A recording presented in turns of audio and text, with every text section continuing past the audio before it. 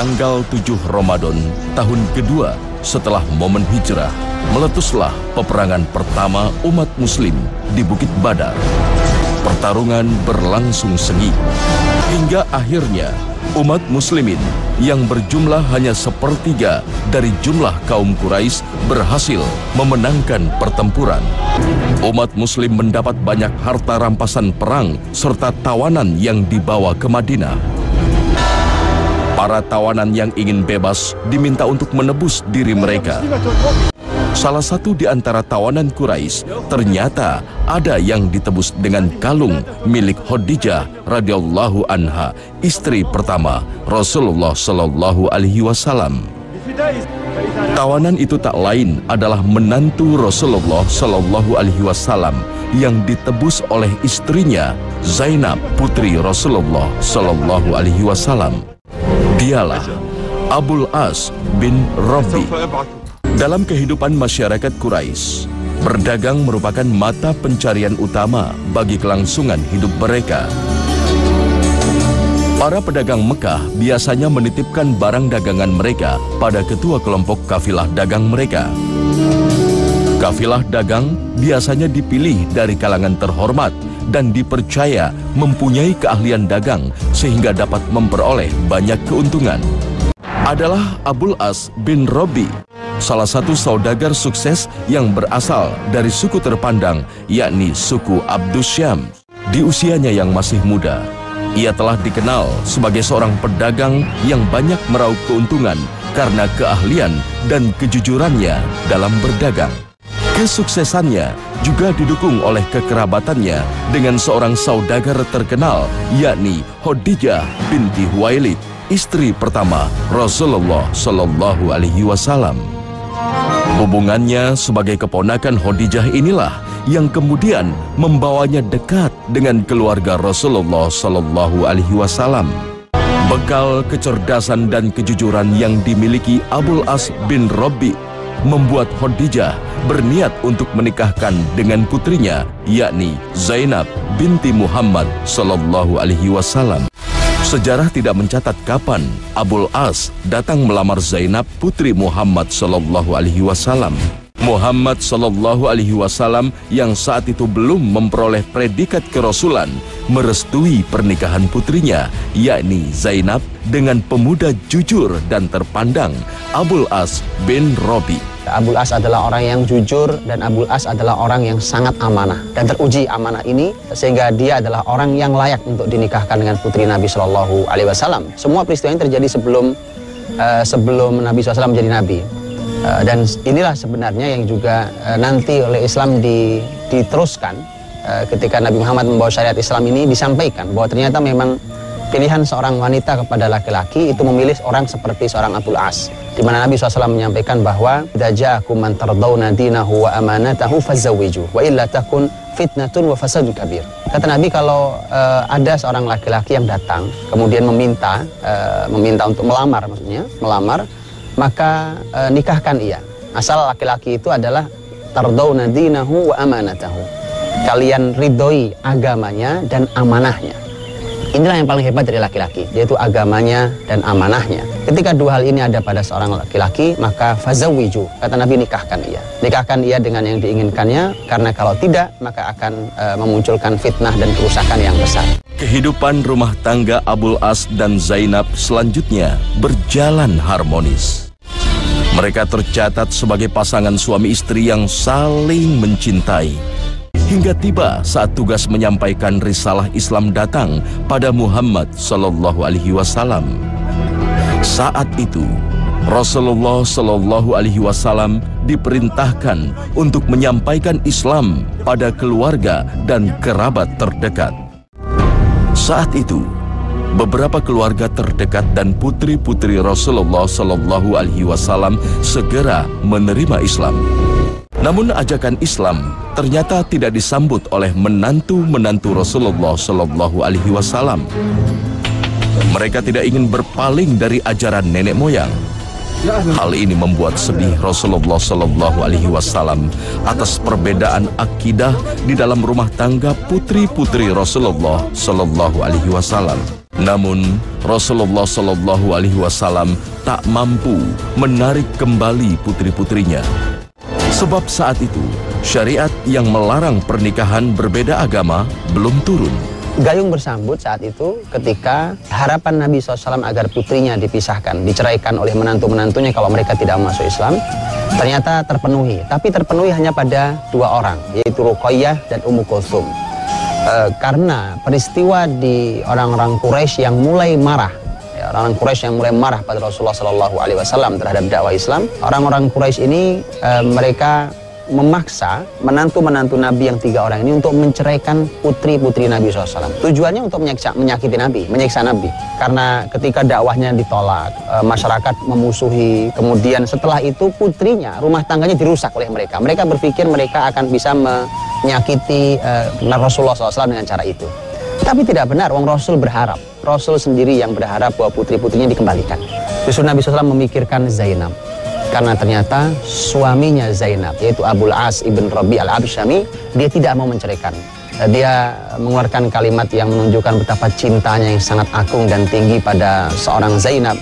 Eh, dan dengan dia mengatakan aku tidak mau eh, ada wanita pengganti yang lain untuk menggantikan istriku. Rasulullah Shallallahu Alaihi Wasallam dengan berat hati harus merelakan putrinya Zainab hidup bersama suami sahnya Abul As bin Rabi meski mereka berbeda keyakinan. Sementara itu, di saat ancaman kaum Quraisy sudah tak terbendung lagi, Rasulullah Shallallahu Alaihi Wasallam memutuskan hijrah ke Madinah. Di sinilah Abul As tetap mempertahankan Zainab, istri yang sangat dicintainya, agar tetap berada di sisinya di kota Mekah. Hijrahnya Rasulullah Shallallahu Alaihi Wasallam dan umat Muslimin ke Madinah ternyata tidak mengindikasikan bahwa perselisihan antara umat muslim dan kaum Quraisy berakhir. Perseteruan kian memanas, hingga akhirnya kaum Quraisy sepakat untuk mengirimkan seribu pasukannya ke Medan Badar di tahun kedua Hijriah. Di antara pasukan-pasukan yang ditugaskan tersebut, Abu As bin Robi termasuk di dalamnya. Namun bukan keinginan hati Abul As untuk berperang melawan muslimin. Terlebih melawan Rasulullah Shallallahu Alaihi Wasallam yang tak lain adalah mertuanya sendiri. Semua dilakukannya karena ia berada dalam lingkungan masyarakat Quraisy Mekah. Dengan berat hati, Abul As berperang dan mengayunkan pedang di medan Badar. Sementara itu kaum Quraisy merasa yakin bahwa mereka akan berhasil menghabisi umat muslim yang berjumlah hanya sepertiga dari pasukan mereka.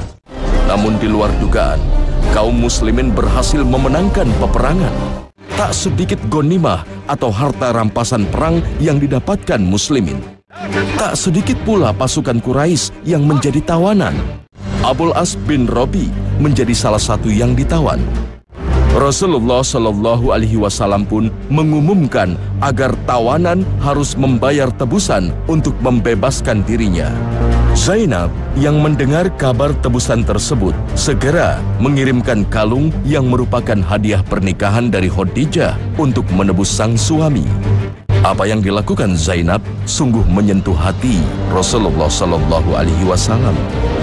Kalung perhiasan yang digunakan Zainab untuk membebaskan Abul As telah membuka kenangan saat-saat indah Rasulullah Shallallahu Alaihi Wasallam dengan sang istri tercinta Khadijah binti Huwaili. Begitu Nabi SAW melihat uang tebusannya Abul As dan itu adalah perhiasan perhiasan emas yang cukup untuk menebus Abul As untuk dibebaskan. Rasul SAW hatinya menjadi tiba-tiba menjadi uh, sangat terenyuh, menjadi sangat terharu. Mengapa? Karena ini adalah perhiasan milik Khadijah radhiyallahu anha.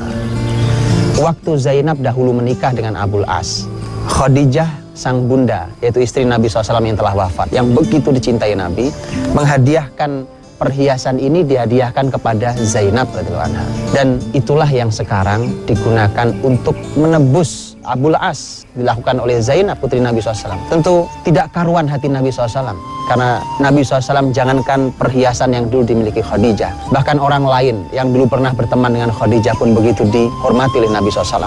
Disambung silaturahim itu. Apalagi ini adalah peninggalan barang yang dulu pernah punya kenangan yang sangat indah.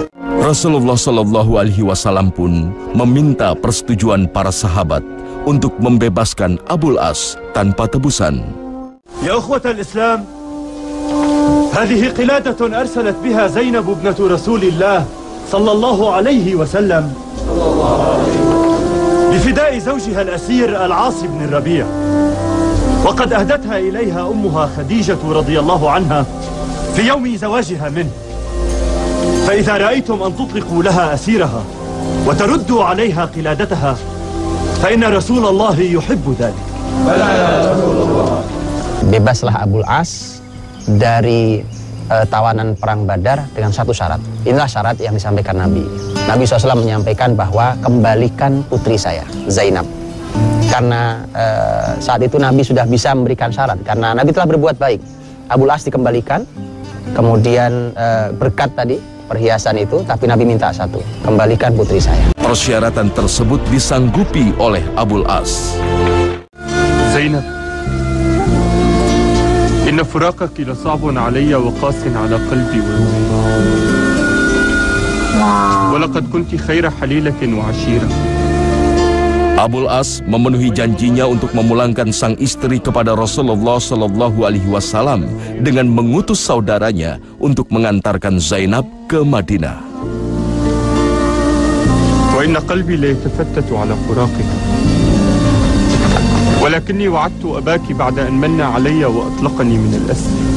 Meski hatinya enggan berpisah, Abul As tetap menunjukkan komitmennya pada Rasulullah Shallallahu Alaihi Wasallam. إني لا أرجو من الله أن يجمعنا ثانية أما الآن فارحلي إلى أبيك في يثرب لأني والله ما أغفر زمام رجل مع أني لا أؤمن بدعوته ولكن والله ما في الأرض مثيل له ارحلي يا زينب Hari-hari berikutnya dijalani Abul As tanpa Zainab di sisinya. Begitu besar cintanya terhadap Zainab dan begitu hormatnya ia pada sang mertua meski dia enggan mengakui kerasulannya. Sejarah tidak menemukan catatan apakah Abul As ikut terlibat di peperangan selanjutnya melawan muslimin setelah perang Badar. يا ابن أخي أنت ذاهب الآن بأموال قريش إلى الشام Di tahun 6 Hijriah, Abul As dipercaya memimpin kafilah dagang menuju Syam. إنه والد زوجك زينب زينب وحر قلباه على زينب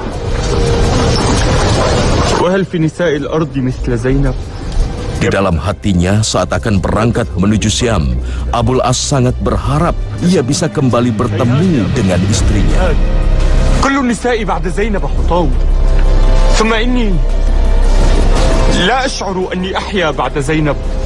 Baginya, tak ada wanita lain yang mampu menggantikan Zainab di sisinya. Wallahi ma fi nisa'i mithlaha. أمانة وصدقا وطهرا ونبلا امضي إلى قافلتك واحذر أنا هنا سيد مكة والكلمة لي هنا اذهب هيا هيا Berangkatlah Abul As memimpin kafilah dagang yang membawa 100 unta. Perdagangannya sukses di Syam. Dan saat akan kembali ke Mekah, kafilah dagangnya bertemu sekelompok muslim yang kemudian mencegat dan menawan mereka.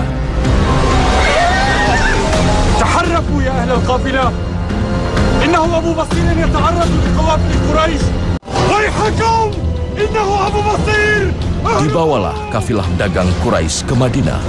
Beruntung, Abul As berhasil lolos dari sergapan. Diam-diam ia menyelundup ke Madinah dan meminta perlindungan istrinya. Setelah sholat subuh, Zainab mengumumkan bahwa ia melindungi Abul As bin Robi. Ya ma'asyal al-muslimin, inna Zainab binta Rasulullah sallallahu alaihi wasallam, qad ajarat al-As. Namun, Rasulullah Shallallahu Alaihi Wasallam mengingatkan saat itu syariat yang mengharamkan pernikahan berbeda keyakinan telah turun, sehingga otomatis Zainab bercerai dengan Abul As bin Robi. Di pagi hari itu Rasulullah Shallallahu Alaihi Wasallam begitu mendengarkan Zainab menyampaikan bahwa dia melindungi uh, mantan suaminya Abul As. Uh, kemudian Nabi menyampaikan pada para sahabat bahwa ini pun baru Nabi dengar. Maka Nabi berkata secara pribadi kepada putrinya Zainab radhiyallahu anha. Kata Nabi hormati dia, hormati dia, tetapi ingat bahwa suamimu tidak boleh mendekatimu secara fisik karena uh, sudah turun syariat Allah Subhanahu wa taala di mana dilarang seorang muslimah menikah dengan laki-laki yang bukan muslim. Itu juga menjadi pelajaran bahwa ternyata Nabi SAW dan para sahabatnya sepahit apa pun, kalau memang itu merupakan syariat harus ditegakkan. Tidak ada atas nama cinta, atas nama kasihan, atas nama anak, atas nama rumah tangga. Allah Subhanahu wa taala berfirman dalam surat Al-Baqarah ayat 221. Wala tankihul musyrikati hatta yu'min wala amatum mu'minatun khairum min musyrikati walau ajabatkum uh, janganlah kalian janganlah kalian para uh, kaum laki-laki menikah dengan wanita musyrik sampai mereka wanita itu mau beriman dan seorang budak wanita yang beriman lebih baik daripada seorang wanita yang musyrik walaupun wanita itu mengagumkan dirimu. Begitu sebaliknya. Begitu sebaliknya Eh, wala tunkihul musyrikina hatta yu'minu wala 'abdum mu'minun khairum min musyriki walau a'jabakum. Dan buat seorang wanita tidak ada pilihan bahwa seorang wanita muslimah harus memiliki suami yang muslim. Tidak ada pilihan yang lain. Tidak. Bahkan rumah tangga sudah berjalan dan mungkin sudah punya anak. Karena perlu diketahui bahwa Abul As dan Zainab sudah punya anak. Nah, di sini artinya bahwa kalau memang kalau memang mereka harus dipisahkan, dipisahkan. Bahkan sudah lama, cinta mereka luar biasa, bahkan sudah punya anak sekalipun. Kalau seorang suami murtad, maka eh, pernikahan batal demi hukum. Atas jaminan keamanan Zainab, Abul As menemui muslimin dan meminta agar kafilah dagangnya dipulangkan. Wallahi law kana mali lataraktuh wala ma sa'altu anhu. Walakinahu amanatu Quraisy. Wa ana wallahi ma khafartu amanatan qat. فإن رأيت أن يرد مال القافلة علي فجزاك الله وجزا صحبك خيرا Rasulullah Shallallahu Alaihi Wasallam pun kembali melibatkan para sahabat untuk menentukan keputusan yang akan diambil. Sebab gonima atau harta rampasan perang menjadi harta yang halal untuk dimiliki. Namun, kebesaran hati Rasul dan para sahabat membuat mereka akhirnya memutuskan untuk mengembalikan kafilah dagang pimpinan Abul As bin Rabi. Ya Rasulullah, hayya ya ibn Rabi' hayya hatta ta'uda ilaika qafilatuk, hayya.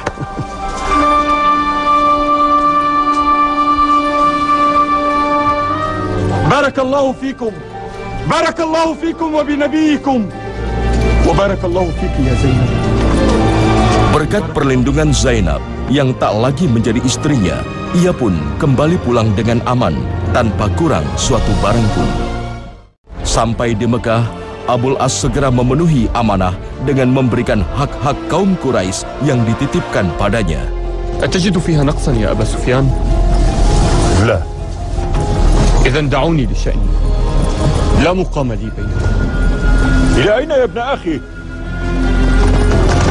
إلى حيث أجد ضالة تغالب Setelah ia memastikan semua hak telah terpenuhi, ia pun mengumumkan keislamannya dan kembali menuju Madinah untuk bertemu Rasulullah Sallallahu Alaihi Wasallam.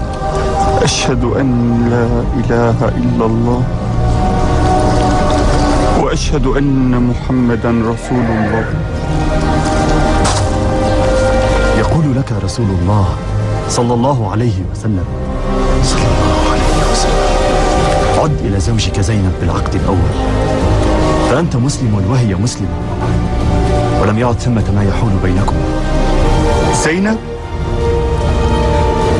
حمدا لك يا رب العالمين الشكر لك يا رسول الله Maka kembalilah Abul As menjadi suami yang sah bagi Zainab, putri Rasulullah Sallallahu Alaihi Wasallam. Tak tergambarkan kegembiraannya dapat kembali hidup bersama Zainab. Namun, kebersamaan tersebut tak lama ia rasakan. Dua tahun kemudian, mereka kembali harus dipisahkan. Di tahun 8 Hijriah, Zainab wafat. Tahun ini menjadi tahun kesedihan yang mendalam bagi Abul As. Tak tercatat bagaimana kisah hidup Abul As setelah wafatnya Zainab. Namun, tak lama setelahnya, Abul As pun wafat di tahun 12 Hijriah. Cinta sejati Abul As bin Rabi dengan Zainab binti Muhammad Sallallahu Alaihi Wasallam kembali berlanjut dalam kehidupan abadi di akhirat kelak.